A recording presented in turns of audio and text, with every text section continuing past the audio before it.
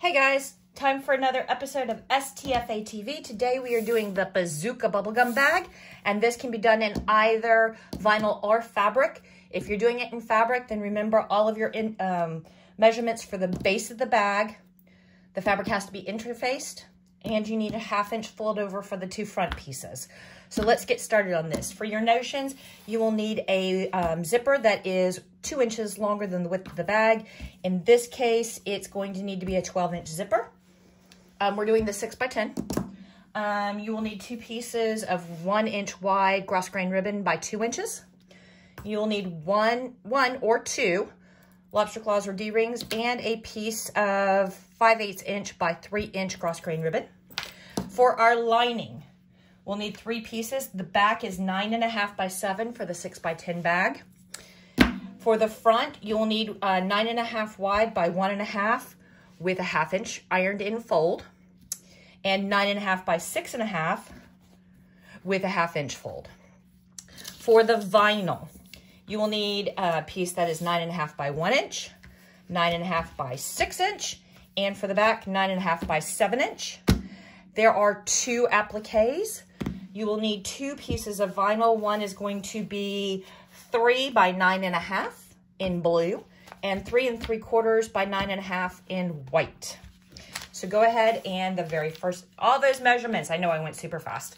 Um, and you may not be doing the 6 by 10 You're probably doing the 5 by 7 All those measurements are in your how-to PDF, so go ahead and grab your PDF and check out your particular uh, measurements. Blah, blah, blah. Go ahead and grab some medium weight cutaway hoop it up and throw and run color stop one. Voila! And you're going, wow, Ricky, those colors are really bright for thread. I know, I ran my die lines in white and I probably shouldn't have. So I grabbed an ink pen so that you could see my lines better. So the blue line is the top die line for the bag. You just want to make sure that your vinyl always covers that line. The two red lines are what we are going to be most interested in if you're using a number three zipper. If you're using a number five zipper, then the two purple lines are going to be the things you're interested in. If you're using a number three, then you want to make sure that your zipper covers um, those two red lines. Why? Because this is one inch wide and number three zippers are one inch wide. So this is your die line for perfect placement for your zipper. If you're using a number five, the tape on a number five is one and a quarter inch. And rather than put even more lines here, these two purple ones are the clearance for the teeth. When you put your zipper in, you want to make sure that the number five zipper, your teeth are right in the middle of that purple line. So go ahead and line up your zipper. Nice and perfect. Make sure that you grab some tapey tape. Remember, I loves my tape. Make sure that your zipper is nice and straight and perfect. And you want to tack that down on the left side and the right side. And you want to make sure that your zipper head is all the way off to the left. Once you've got that tape down secured and you are happy with your placement, throw it in the machine and run color stop two. We will be back right after two. And there we are, we're all tacked down. Now I want you to grab your two pieces of two inch by one inch ribby ribbon and your two front pieces of vinyl or fabric if you're using fabric. Take your ribbons and fold them in half, like so. Then find a measuring device and mark the half inch mark. Boop, boop. And boop, boop. And then fold this one. And half inch. La la. Ooh. Ta-da. Okay, there you go. Now grab your hoops and pick either the left or the right and pull up your tape. Grab one of your ribby ribbons and put it so that the fold is towards the center. Then line up your chalk marks or your stitch marks or whatever you did with your die line. Make sure that you are top, bottom, left and right centered across that die line and zipper tape like so. Tape it back down. So easy. So simple. Sorry, I don't know that one. Just so you know, I can help if you ever misplace your phone. Try asking me to call your phone. So apparently Alexa's trying to be helpful. So we're also going to grab this other piece of tape or a ribbon. Make sure that the fold is towards the center. Mark your top, uh, your half inch marks. Line them up with your stitch line. Center it across your uh, zipper. Tape it back down like so. Now grab your one inch by nine and a half inch vinyl. Buck it right up against your teeth. Make sure that you are left right centered. Go ahead and put a little piece of tape tape to hold it in place like so. And run it right along those teeth all the way down. Tape it there as well. Now grab your bottom vinyl, buck it right up against those teeth. Make sure you are covering your die lines on the left, the right, and the bottom. And we're just gonna put a tiny little bit of tape right there. Choo -choo -choo. And a tiny bit of tape right there. And then we're gonna go ahead and run color stop three. Color stop three will tack down the entire bottom piece and most of the top piece except for about one inch. That's for a zipper trick later. Don't sweat it. It's all cool. We'll catch it in a little bit. Go ahead and throw it in the machine and run color stop three. Back in a second. All right, and so we've got our tack down down. We're gonna throw it back in the machine and run color stop four, which is going to give you a die line for our first piece of vinyl placement for our applique.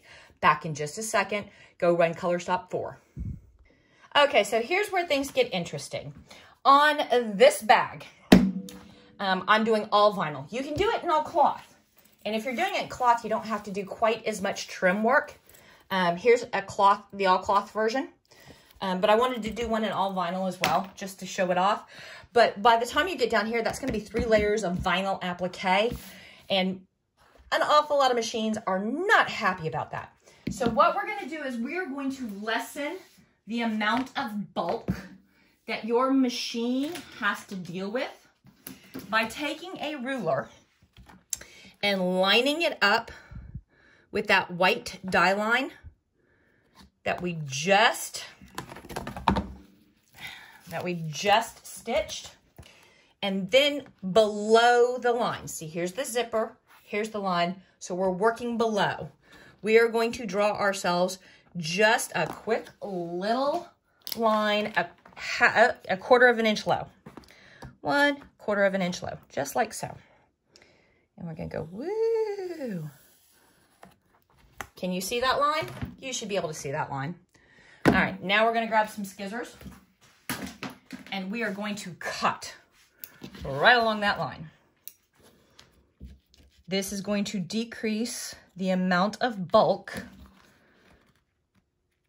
as we put not quite applique upon applique.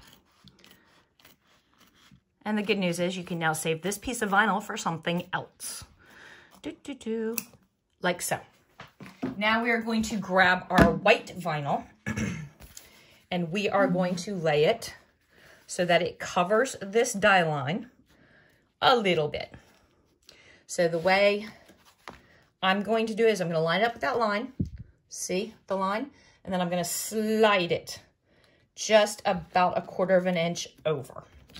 Now I'm going to take some tape and I'm going to tape all four corners. And now I'm going to run color stop five to tack that down and then we'll trim in just a minute. Back in just a second. All right, so we've got our zigzag there. Yay. We're going to trim off the top of this. And you notice it didn't go all the way off to the ends of the vinyl. If you're one of those people who wants to keep that straight line all the way across, then you can go ahead and do a mark. And it's not going to hurt anything because that's going to be off the bag but I know some of you are very anal retentive about straight lines. So we're gonna take our applique scissors and we're cutting on the top of the zigzag. Remember, the key to this is you want to make sure you've got nice sharp scissors, super sharp uh, applique scissors. You put the paddle on top of the zigzag. And my zigzag doesn't start for a little bit, so we're gonna, there. Now, pull just slightly, a little positive tension on your excess and then just glide your scissors. It's about angle. There you go. Throw it in the machine and go ahead and run color stop six. I will see you after six. And we're back. So you see our die line right there.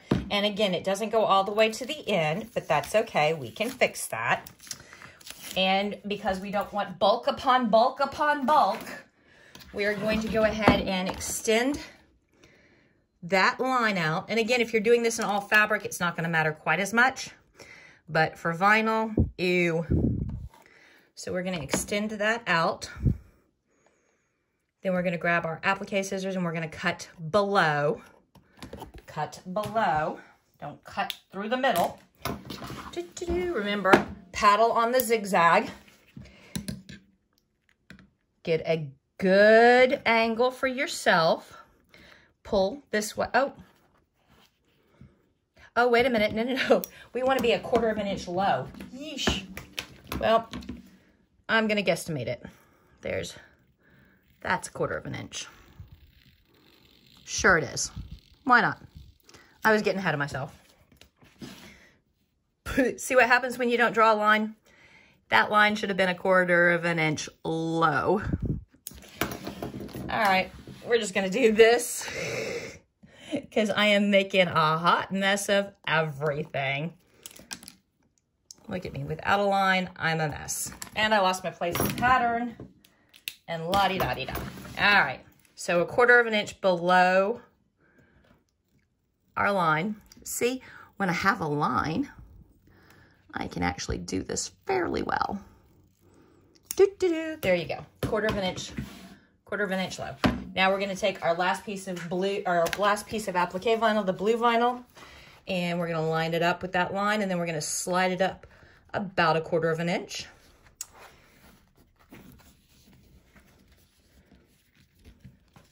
And we're gonna make sure that the bottom die line of our bag, see that corner down there, is covered.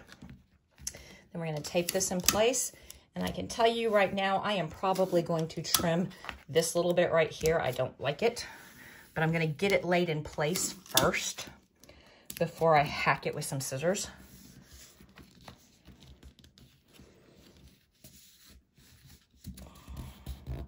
Because I like everything to lay nice and flat. Let's go ahead and trim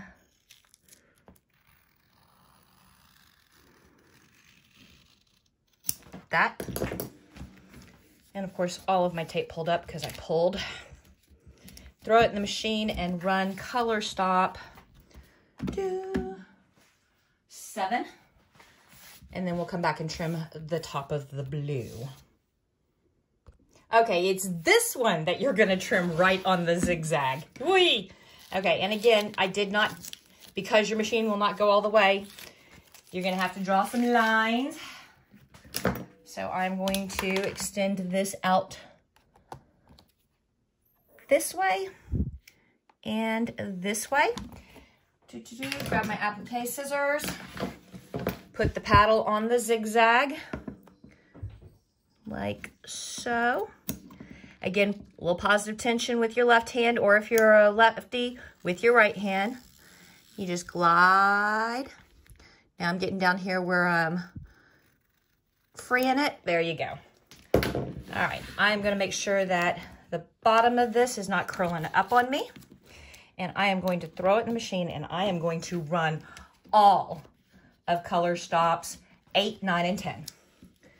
So you will not be back until we are between 10 and 11. Run all of eight, nine, and 10. See you between 10 and 11 just like that. All right, kinfolk, here we are between steps 10 and 11. So we're gonna do two things. The first is gonna pull up some tape on the left side of your bag by your zipper. Yon zipper. And then, save some of it. We're gonna open up the zipper. Come here, there you go. And we are going to grab a seam ripper and we are going to put a small tear. Just like so. Flip this bad boy over. And see the two line, stitch lines, not the red ones, but the two ones in the middle, yeah, those. We are going to trim out the stabilizer between just those two lines, just the stabilizer. Don't cut your zipper, don't cut your vinyl, don't cut your fabric. Just those, it's a quarter inch just behind the zipper so that we can, you know, get in the bag. Ah,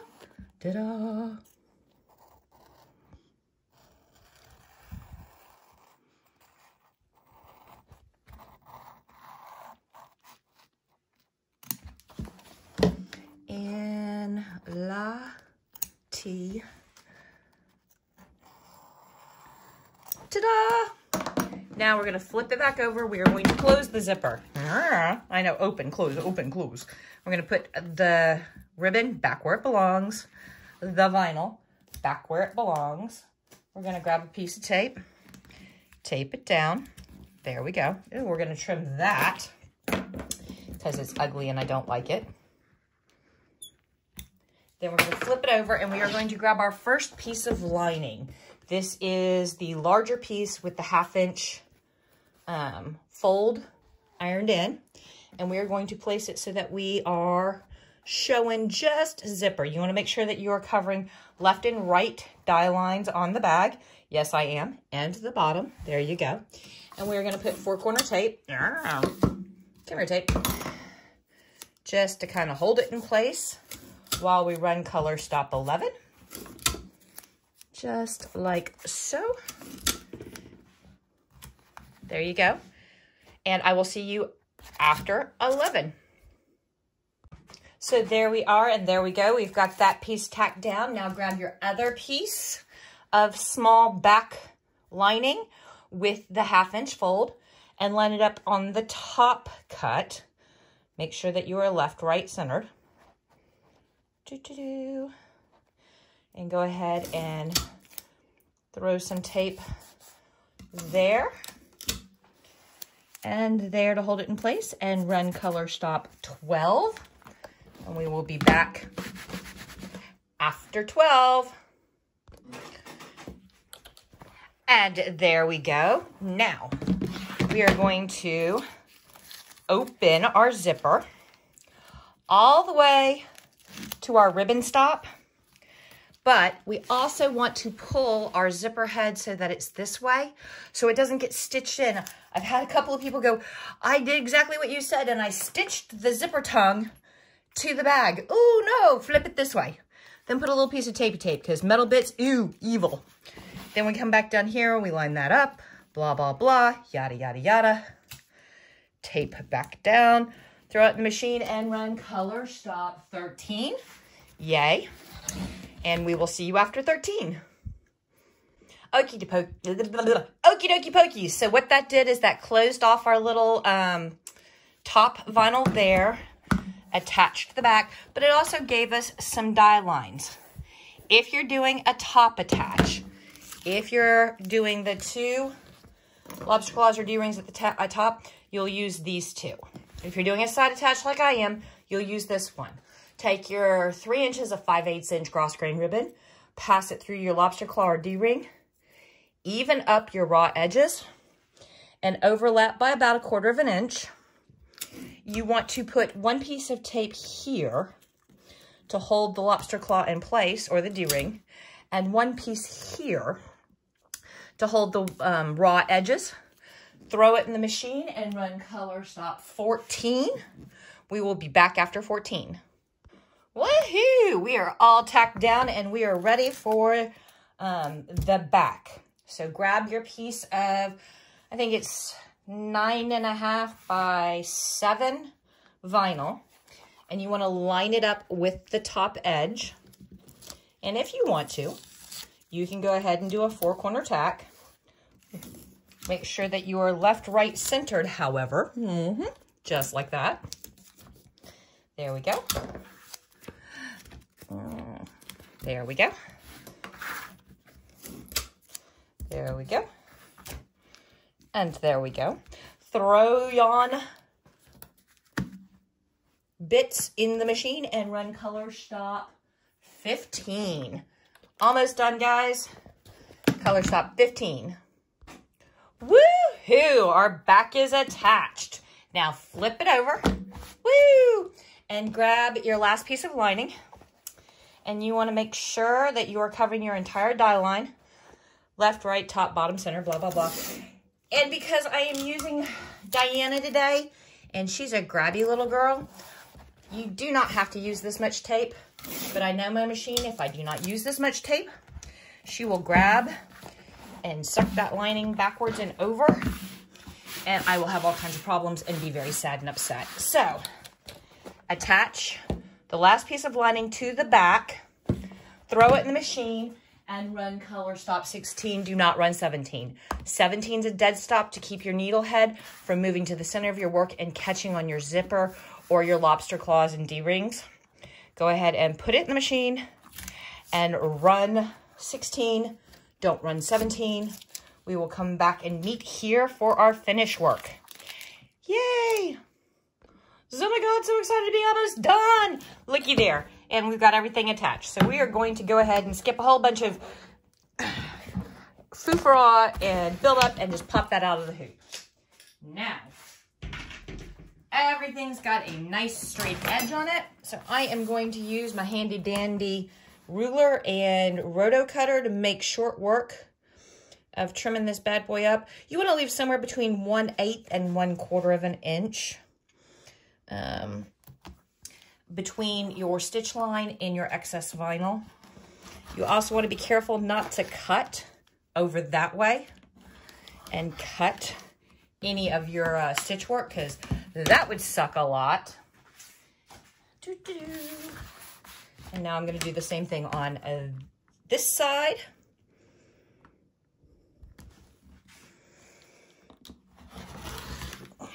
And now I am going to make sure that I cut all the way through. There we go. Flip it over. On the top of your bag, you have a hole. We are going to need a turning tab so we can stitch our lining closed when we're done turning everything. So take your scissors and you want to cut right there, um, almost, but not quite, almost, but not quite, to the stitch line, right even with the stitch line. Then you want to fold your turning tab out of the way. I've cut my turning tab before. It's painful. I cried. And you want to tape it out of your way because now we are going to cut here. And you do not want to cut your turning tab. Trust me, you don't want to cut that. There we go. And now let's trim the bottom of the bag. Again, somewhere between 1 eighth and 1 quarter. It's what you're comfortable with. Depends on how close you like to cut. You just don't want to cut your stitches. That would be bad. Now, for the next part, we can't use our ruler and our roto cutter because we have to roundy roundy our corners. So grab some scissors and you want to come in and roundy roundy your corners. That makes your corners nice and um, um, pointy looking rather than all wadded up with extra fabric and or vinyl. Da da da, la da da, la da da. And something I've started doing recently in the last couple of bags. Usually I'm like, we do a double turn and then we stitch closed. No, we are only going to do a single turn. We're going to turn the whole bag out through um, our turning tab so that all of the lining, the entire lining is now on the outside of the bag. And that way we can stitch closed without having to fight the top lip.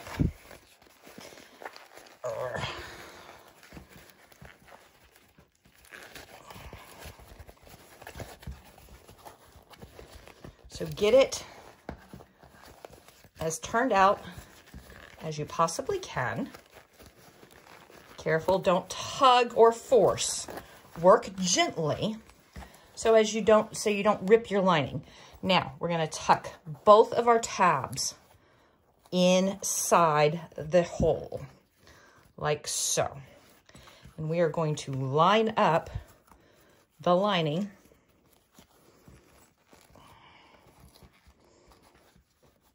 so that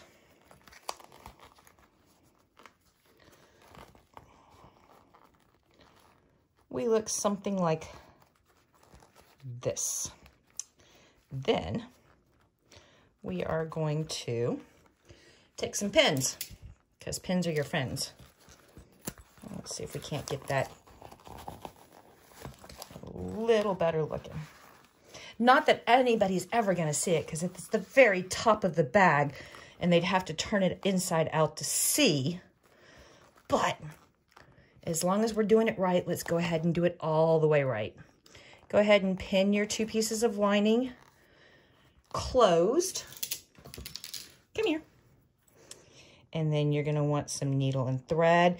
I would highly recommend using thread that matches your lining so that you can't see, but I am going to use white so that you can see what I'm doing.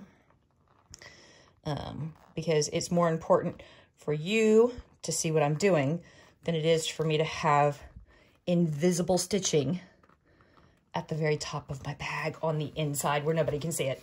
Now, where did I put my needle and thread? Now, you can do a ladder stitch. You can do a whip stitch. You can whip it, whip it good. I am going to do a real quick whip stitch because nobody is paying me to watch me hand sew for 10 minutes. That's just not entertaining TV. Two, two, two, two. Um, there we go. Oops. You want to close it all the way. There we go. You want to close it all the way off. And I like to use, because it's cheating, ha ha ha, the uh, stitch seam. Wow, this, this thread's ugly. I don't like this thread. I don't know how old this thread is, but it's really gross and grabby and catchy. Um, to I like to stitch it to my stitching because that makes it fast and easy for me if my thread was not all balled up and gross. And yes, you are right, a ladder stitch or um, a hidden stitch would be way better. But again, it's all the way up at the top of the lining on the inside of the bag and nobody's ever gonna see it. Well, now I'm just getting sloppy. It looks like Frankenstein's monster's stitches here. Frankenbag. One of these days, I'm going to make a Frankenbag. I have a loose idea of what Frankenbag's going to look like. I don't have a solid idea. Um, but you know what? Loose ideas are usually the most fun. Because then you come out with something and go, woo! But, well, that's not what I had in mind, but dude, cool to do. Or, you know, the other thing. It comes out and you're like, ew. Never mind. Hide that in the back of the closet. Nobody wants to see that. Do do. Almost done. This is kind of reminding me of, I think her name was Jenny. The uh, little cowgirl from Toy Story. Was her name Jenny? I can't remember. But her hat was this color red with the the wide white stitches on it. I'll have to go look that up. Now it's bugging me. Hey, Alexa. What was the name of the little cowgirl in Toy Story? According to an Alexa Answers contributor, the cowgirl's name from Toy Story is Jessie. Jessie, not Jenny. Wow. I messed that up, didn't I?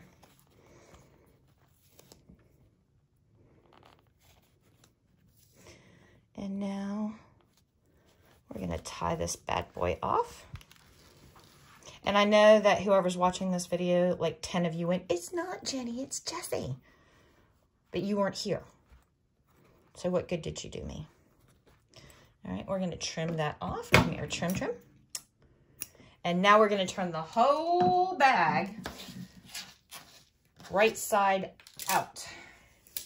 Da -da -da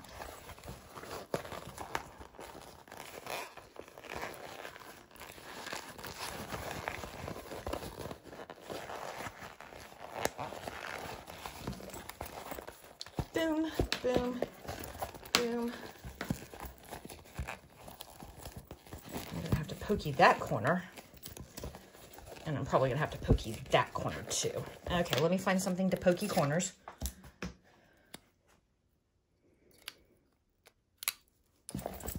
Pokey corner, pokey corner, pokey corner, pokey corner, zip, roll your seams. Now those, this is, the cloth bag is going to be a lot better behaved. Um, the vinyl bag, the vinyl has to be trained and you can either roll your seams and then stack heck a lot of book, um, chunk and book on it and let it squish. Um, but I've also discovered that, ooh, there's a little hair there. You could also use clover clips and some felt. So let's take a look at her bag. Woohoo! Isn't it beautiful? Yeah, baby. Yeah, sweetheart, you are gorgeous. Um, I am going to put some felt strips and clover clips to train my vinyl to lay flat. Uh, okay, guys, that's it. We're done. Um, once it's all flattened out, I will attach whatever the dangle is for this because I don't quite know yet. And then we'll be done. Peace.